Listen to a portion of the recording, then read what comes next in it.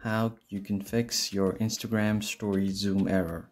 Before we begin, make sure to hit like on the video and subscribe to the channel for more informative content like this. On that note, let's dive in.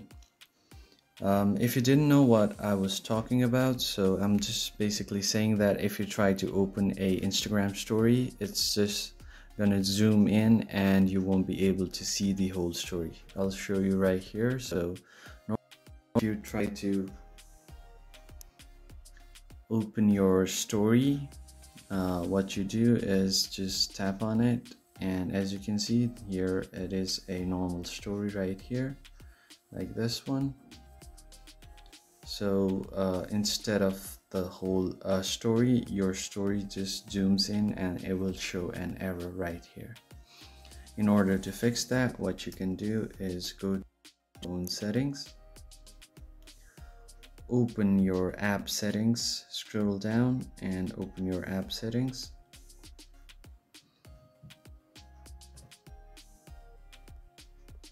And then just scroll down until you find Instagram.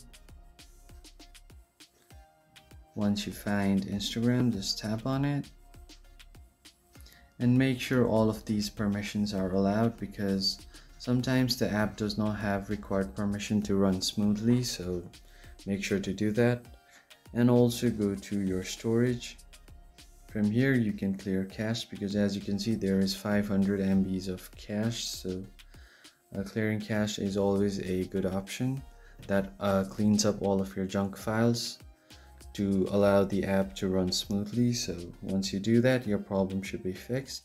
But if it still doesn't fix you can clear all data and reboot the app so all of your information will be deleted. You will have to log back in, uh, in uh, entering your password so you can do that and after doing that your uh, problem should be solved. And that's how you can fix instagram story zoom error uh, in 2024 i hope you found this video helpful and i'll see you on the next one